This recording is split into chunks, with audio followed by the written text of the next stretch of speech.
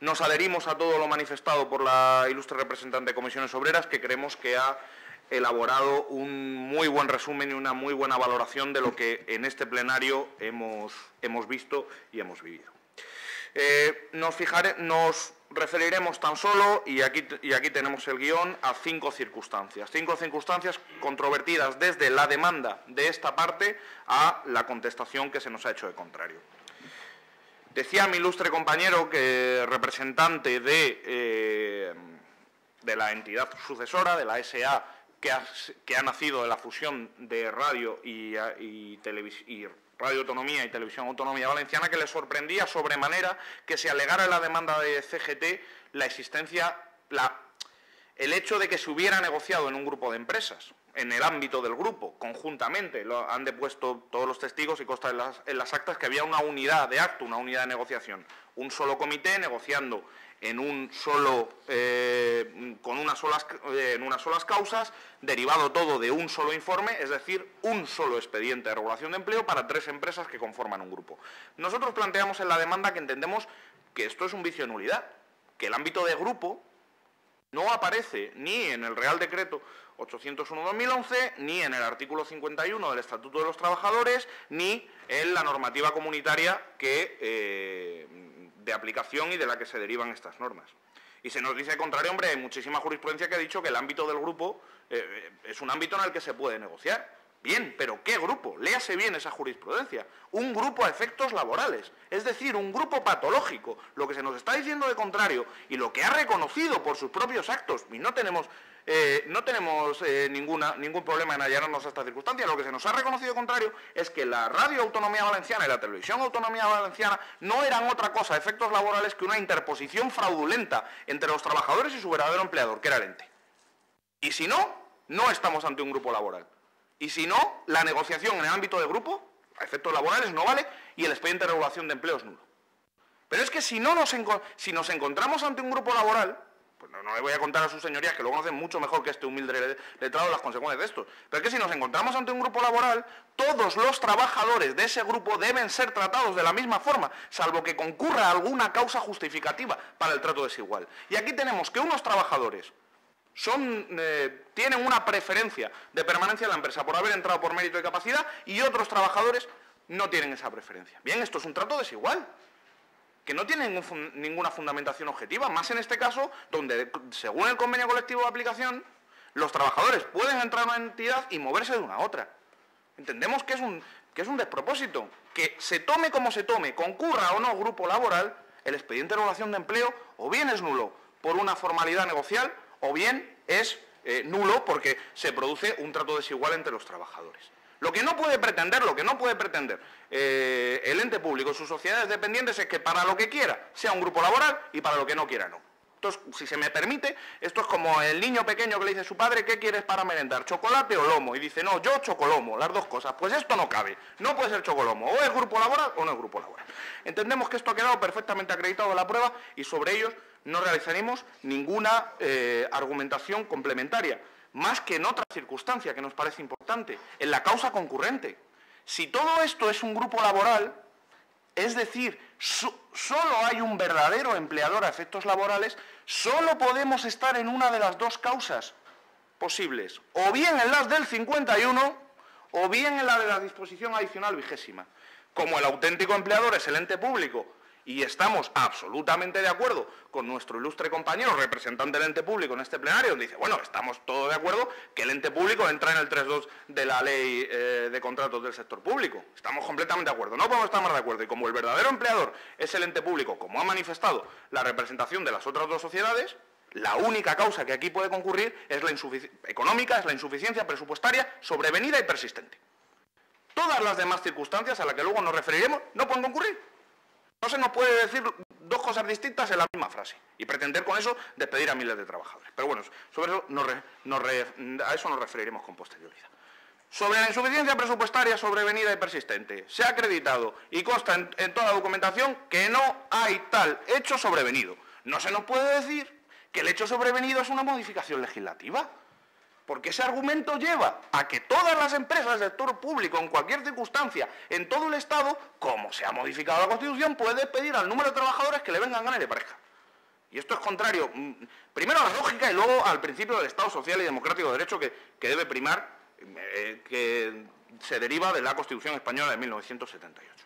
Pero es que, yendo a las demás circunstancias que esgrimen, las empresas como causas concurrentes, es que parece que, primero no deben ser como causas económicas, primero creo que no deben ser tenidas en cuenta porque, como decimos, estamos hablando solo de la, eh, de la insuficiencia presupuestaria sobre el persistente. Pero es que luego parece que no eran tan graves, señoría.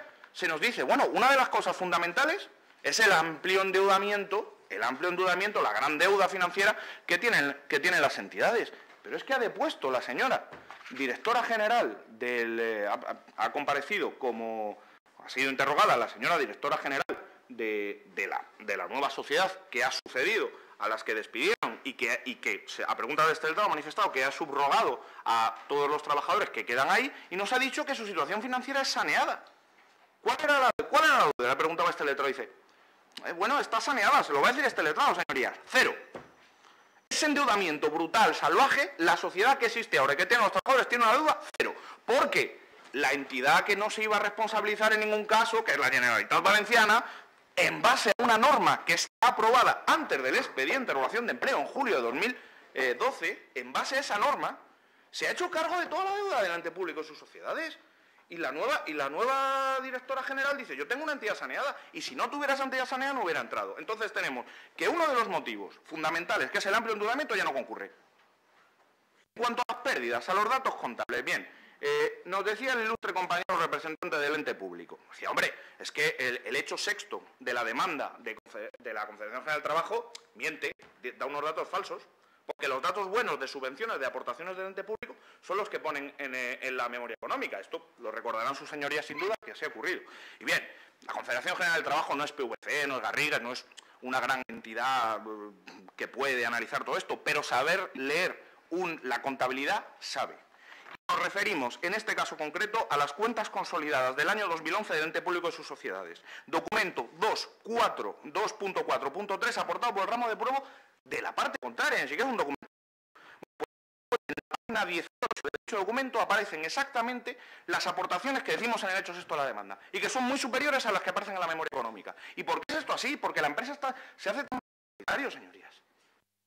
Lo que ha hecho la empresa es tomar solo una de las aportaciones, lo que es la subvención de explotación del ente público de sociedades y todas las demás aportaciones que da la Generalitat no las toma en cuenta.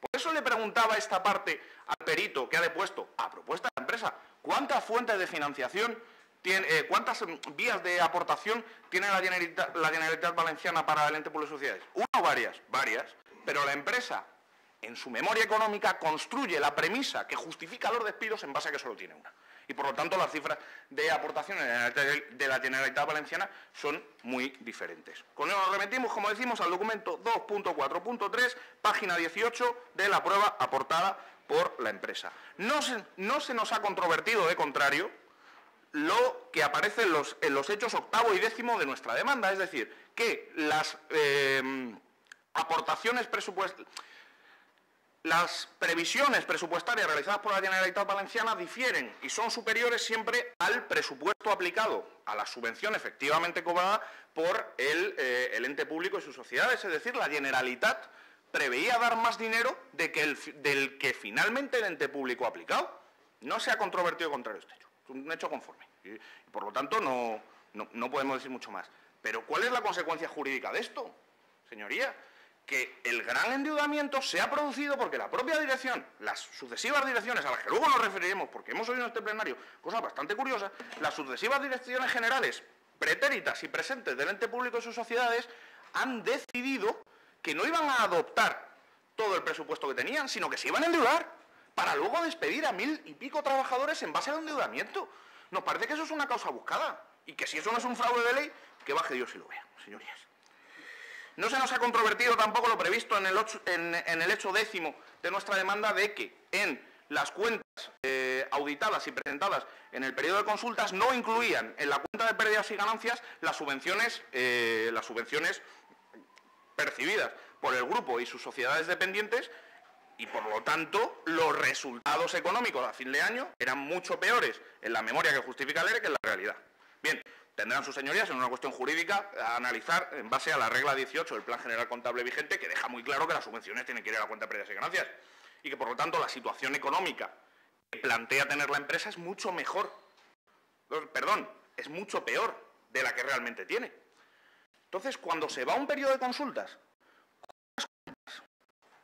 no voy a decir a mañana, a mañanas, pero donde se intenta siempre presentar la situación un poco peor de la que es, donde esta es la única información que se da a los representantes de los trabajadores, entendemos no ya que no solo que no exista la causa por lo que hemos dicho antes, sino que la empresa no ha cumplido la carga de acreditar, en base a datos ciertos, lo cual es lógico, la causa que concurría, al menos la económica.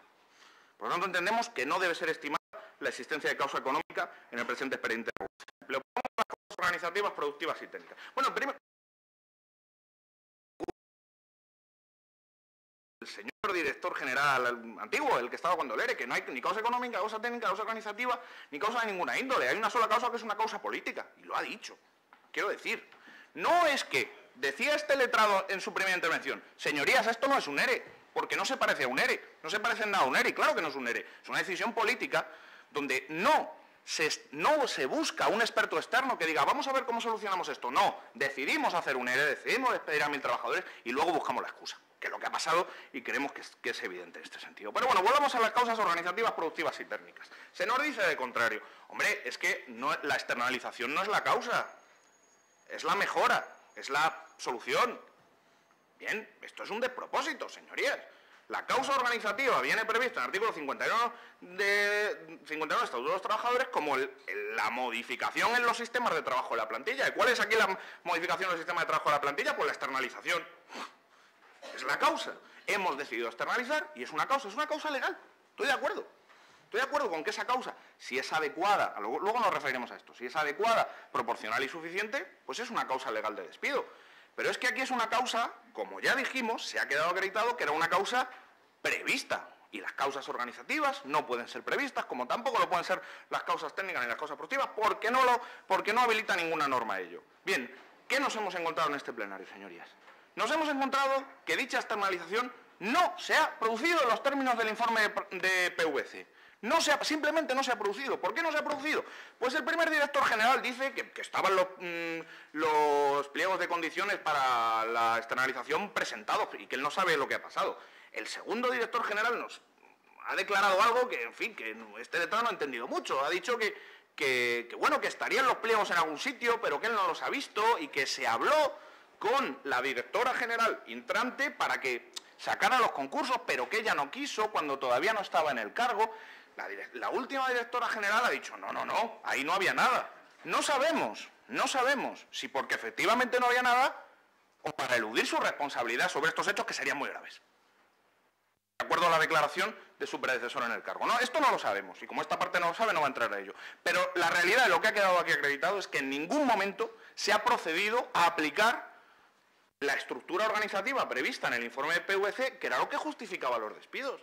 Entonces, una causa prevista que finalmente no concurre es una causa inexistente, por lo cual este despido colectivo carece de causa, ni económica ni de ninguna otra índole. Los despidos colectivos que carecen de causa son, de, acuerdo al artículo 124, nos decía mi ilustre compañero, hay que referirse a la ley, pues de acuerdo al artículo 124 son no ajustados a derecho. Y no hay mucho más que hablar. También se nos decía y se nos, se nos indicaba de contrario. Bien, es que mm, las reformas legislativas, suponemos que se refieren al Real Decreto Legislativo 3-2012, han eliminado la necesidad de que las causas concurrentes para un expediente de regulación de empleo sean unas causas razonables, proporcionales y adecuadas a la medida.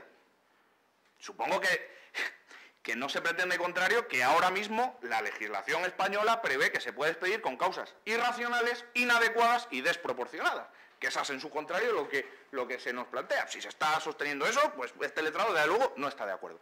Pero bien leída, bien leída, la, la reforma legislativa del Real Decreto 3-2012 no dice que se elimine el juicio de razonabilidad, no dice que se elimine el juicio de proporcionalidad, no dice que se elimine el juicio de adecuación, como hay reiteradísima jurisprudencia de reiteradísimas salas, jurisprudencia menor, de salas del, Tribunal Superior de Justicia y de, la Audiencia Nacional que han dicho esto. Lo que dice es que se elimina el juicio de oportunidad, que es una cosa muy distinta, muy distinta. Por lo tanto, si antes, según como decimos, reiteramos en jurisprudencia, las medidas tienen que ser proporcionales, adecuadas y suficientes, las causas, con respecto a, las medidas que se toman después de dicha reforma, que es lo único que ha ocurrido, también tienen que ser proporcionales, adecuadas y suficientes. Por cierto, como el propio normante ha reconocido en el Real Decreto que regula la eh, Comisión Nacional Consultiva de Convenios Colectivos, donde dice justamente eso, la Comisión Nacional Consultiva, ante una modificación sustancial que tiene idénticas causas, tendrá que valorar si es eh, adecuada, proporcional y suficiente. Bien. Bien, pues en este caso la situación que se esgrimía ha sido adecuada, proporcional y suficiente para justificar los despidos? Pues hemos en este plenario que en absoluto. ¿Por qué se desafecta a las caras de, perdón, las voces de la radio? Porque era una medida inadecuada su despido. Es lo que nos, es lo que nos han depuesto un testigo tras otro. Era inadecuado. ¿Por qué se desafecta a otros trabajadores? Por criterios operativos, es decir, porque organizativamente era inadecuado. Estamos ante una causa inadecuada, lo están reconociendo uno tras otro. ¿Por qué se desafecta a los 186 trabajadores que finalmente se desafecta? Porque dice textualmente la señora Tora General que con lo que había no se podía hacer.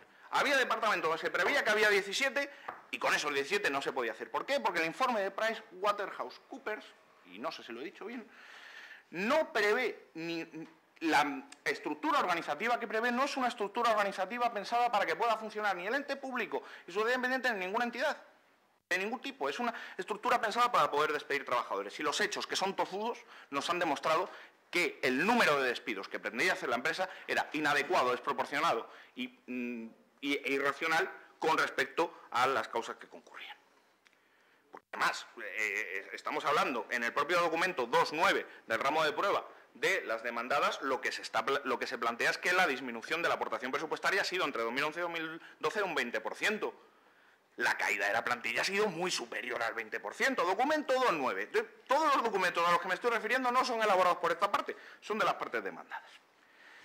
Otros elementos que nos llevan, ¿qué, qué ha ocurrido en el ente público, su sociedad independiente o en su entidad sucesora desde el despido? Pues ha ocurrido que la empresa que se suponía que tenía un excedente de mano de obra, aparte de desafectar a toda esta gente, ha seguido funcionando bien con un incremento de horas de trabajo. O sea, ha necesitado más horas de trabajo para hacer lo mismo. Ya veremos si lo mismo, luego nos referiremos a eso. Han necesitado más horas de trabajo. Ha dicho la señora directora general, es que la gente no venía a trabajar, por cierto, por cierto. Parece una acusación bastante grave mm, planteada aquí en un plenario cuando no hay ni un solo despido, ni, ni una sola sanción a ningún trabajador por no ir a trabajar. Me parece bastante grave. Si había alguien que no iba a trabajar, serían los directivos que unos por otros no habían preparado el pliego de condiciones en un año y pico que llamamos de despido. Pero dicho lo cual, los actos de la dirección del ente público y sus sociedades dependientes han demostrado que necesitaban más mano de obra en todo momento que la que estaba prevista en PricewaterhouseCoopers han demostrado igualmente que lo que decían las demandantes en sus demandas, que era, hombre, ¿cómo me puedes tú hacer una alegación productiva y organizativa si no tienes el contrato programa? ¿Qué es lo que te dice cuál es tu producción y cuál es tu organización? Se nos decía contrario, hombre, pero ¿cómo confunden eso? ¿Cómo? Hombre, es que, qué malos son los abogados sindicales, porque confunden el contrato programa con las causas de despido. Dice la señora directora general, por prudencia, no se podía hacer la externalización hasta que hubiera contrato programa. Está grabado prudencia. Pero sí se podía decidir despedir a mil y pico trabajadores sin tener el contrato programa, se podía decidir externalizar sin tener el contrato programa, pero hacerlo no. Me parece una chufla y una burla al Estado de Derecho y al derecho del trabajo que se pretenda despedir de esta manera. Se nos compara y se nos dice, eh, se nos dice igualmente que, hombre, que es que sobredimensionamiento de la plantilla es, evidente, porque ¿cómo, ¿por qué hacemos la tele con mil y pico cuando hay otras televisiones que lo hacen con mucho menos? Sí, se nos compara con la televisión de Aragón. Televisión de Aragón que tiene un solo canal que no emite todo el día, que no tiene radio. Claro, pues es que eh, estamos haciendo permanentes trampas. ¿Por qué no se nos compara con TV3? Que tiene bastantes más trabajadores y que también tiene un idioma particular. Que es que no saben ya qué decir, porque es evidente que no hay causa. También se puede hacer con un solo trabajador, uno que meta la cinta en un vídeo beta, uno, pues ya está, uno, es demasiado solo 600 pues, Esto es, en fin, es que nos parece de todo punto de propósito. En cuanto a la documentación aportada, no se ha controvertido de contrario, primero, que no se han aportado el número de trabajadores afectados desglosados por centros de trabajo y categorías profesionales. No se ha controvertido, que no se ha dicho contrario, no lo habéis pedido. ¿Cómo que no lo han pedido?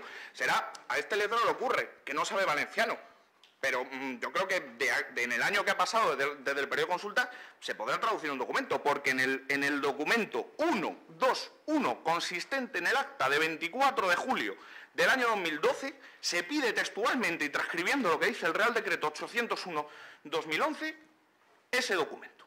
Textual. Queremos el número de trabajadores afectados desglosados por categorías y centros de trabajo. Se pide. Y dice, no se nos dice qué indefensión genera. ¿Qué indefensión genera, señorías? Que nos hemos pasado un año y pico de un tribunal a otro sin que se pueda determinar más indefensión que no saber dónde meter la demanda, pues por, amor de Dios. Que nos parece que hay alegaciones aquí que, en fin, se pide una y otra vez y no se, y evidentemente es una, es una de las previsiones del, Real Decreto 801-2011, que la empresa dice que para esto no se aplica cuando precisamente lo que ha dicho el Tribunal Supremo en una sentencia que alega la propia empresa es que el Real Decreto 801-2011 en su integridad estaba vigente en el momento de la, presentación del expediente de regulación de empleo, salvo lo que fuera incompatible con, las reformas legislativas posteriores. Con lo cual era evidente que tenían que aportar ese documento. No se nos ha dicho por qué no aportaron ese documento, es que de hecho no lo han aportado ni siquiera hoy. Ni siquiera hoy la representación legal de los trabajadores tiene ese documento. Tampoco se nos ha controvertido, contrario, es un hecho probado que no se presentaron las cuentas provisionales al momento de presentación del expediente. Y sobre eso no se nos ha dicho directamente nada. Simplemente hay unos estados contables de abril donde lo que ha pasado de abril a julio, la presentación del expediente de empleo es una incógnita. Nunca se sabe, es un arcano. Por lo tanto, los trabajadores no han podido articular propuestas en concreto sobre los datos de ese momento. Y se nos dice también de contrario, y, por, y y con este último elemento concurrimos, señorías, que es completamente justificado que se rompiera eh, unilateralmente el proceso de negociación. ¿Por qué es completamente justificado? Pues nos han dado tres versiones. Tres versiones. Mi ilustre compañero, de forma muy brillante y muy vehemente, se ha dicho, bueno, es que eh, es verdad que faltaba un día, pero como teníamos, como teníamos que aplicar lo previsto Curiosamente, en el Real Decreto 801-2011, el que no es de aplicación para aportar documentación, para romper el periodo de consulta sí de pero para, para aportar documentación no. Volvemos al chocolomo, pero bueno, no, no me reitero en eso. Bueno, pues según este Real Decreto teníamos solo cinco días, pero cinco días desde dónde? Léase el artículo 11.4 de este Real Decreto, que lo que dice es que cinco días después de la finalización del periodo de consulta, pues finaliza cuando finalice y cinco días después presentas este acuerdo. Pero es que este argumento, con todo el respeto, creemos que no es acorde a la realidad, porque no figura en ningún acta del periodo de consultas este argumento. Se dice que no porque no. Se dice y simultáneamente que las, eh, las posiciones estaban muy alejadas. Se nos dice igualmente por parte del director general que la propuesta que se presenta se presenta fuera de plazo. Cuando se nos había dicho que es que se presenta en plazo, pero ese plazo ya no tenía sentido porque eh, las posiciones están muy alejadas. Se nos dice también que en todo momento se sabía que se iba a finalizar en ese momento, pero sin embargo el acta eh, el documento 1, 2, 7 de nuevo de las demandadas, consistente en el acta de 14 de agosto de 2013, de 2012, perdón, esto es, esto es tres días antes del controvertido final del periodo de consultas, tres días antes. Ahí es cuando por primera vez se discute cuándo se va a acabar o cómo se va a acabar. Y dice el señor Prefasi, no tenemos ningún problema, lo lean sus señorías, en llegar al 24 si hay vías de negociación. Y llega el día 17, se presenta una oferta que eso es una vía de negociación, que es más vía de negociación, de ahí tiene una oferta, tiene una oferta cuantificada. Y no la cogen, no la leen, no se la trasladan a nadie, nos ha dicho el señor Prefas. ¿A quién se la da? A la autoridad laboral. Se lo ha preguntado este letrado, dos veces de dos maneras distintas. A la autoridad laboral, ni al director general, ni al Consejo de Administración, ni a nadie. Constan las actas de, de la reunión del 22 de agosto de 2012 del Consejo de Administración en Autos. Yo se le ha preguntado al director general que, tenía, que estaba en el cargo en aquel momento si hay otras reuniones donde se habla de. Nos ha dicho que no. ¿Qué es esa? Bueno, pues en esa solo se vota la propuesta expresa. Ni la propuesta final de la representación de los trabajadores, ni la anterior a esa, ni la anterior a esa, ni la portada por uso, ni la portada por CESIF, ni váyase usted a saber qué otra medida.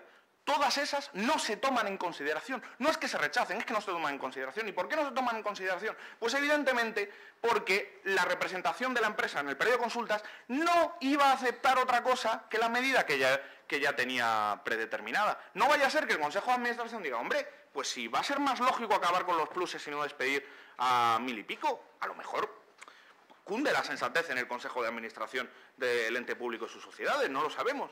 Pero nunca lo sabremos si no se le transmiten las propuestas de representación de los trabajadores, como ha quedado acreditado en el acto de este plenario, al, a dicho Consejo de Administración y, por lo tanto, no puede, eh, no puede posicionarse sobre ellas. Con lo cual entendemos que si no se estaba negociando, que si no se podía aceptar ninguna oferta, que si no se trasladan ni siquiera al órgano decisor las ofertas que se producen, no se estaba negociando. Se ha incumplido la obligación de negociar de buena fe del 51.2 del Estatuto de los Trabajadores. Por lo tanto, este expediente de regulación de empleo es íntegramente nulo. Entendemos, por tanto, que no, debe, que no cabe otra, pues, otra resolución, señorías, con debido respeto, y, tendrán, tendrán ocasión de valorar la voluminosa prueba y, y todas las alegaciones de las partes, que determinar que todos los trabajadores del de, eh, ente público sociedades que han sido despedidos tienen que retornar a sus puestos de trabajo porque es su derecho, porque en muchos casos han eh, accedido al mismo por vía de mérito y capacidad y porque es necesario y es un imperativo mantener el derecho de todos los trabajadores de su puesto de trabajo y de todos los valencianos y valencianas a una televisión pública de calidad independiente. Por lo tanto, no tenemos más que elevar a definitivo nuestras conclusiones y reiterar nuestra petición de sentencia íntegramente estimatoria.